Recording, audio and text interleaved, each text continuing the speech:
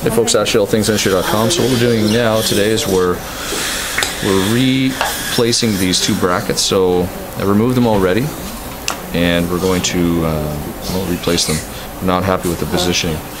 So one of the way the way I was taught, I'm not going to show you here, but it's just to take a regular uh, regular cutters, wire cutters, place it right at the junction of the tooth and the wing, and press, and then squeeze the uh, the handles together, and you're going to flex the wing so that'll pop it off. So the next stage after that is to take them to remove some of the composite. If you're going to keep it, and remove some of the composite here with air abrasion, aluminum oxide.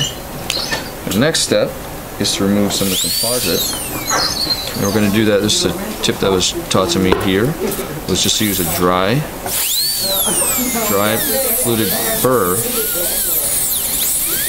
and just remove it until you can see the sheen of the tooth again.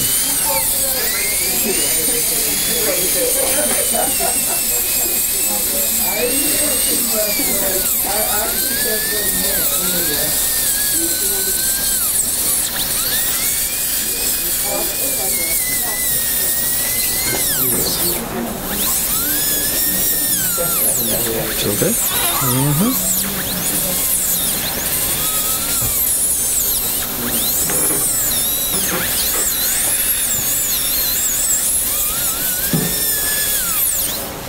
There we go. So it's a lot easier to do it dry than with water on. And now I'm just going to re uh, reposition and off we go.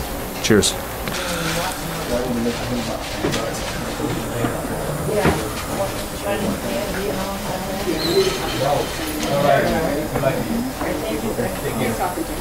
All right. Do it Like again. I bonded it and What's put an the impression I'm gonna like try and here? hold it.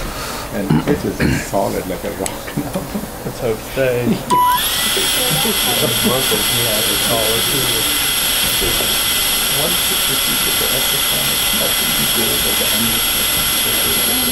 Block it out, bro.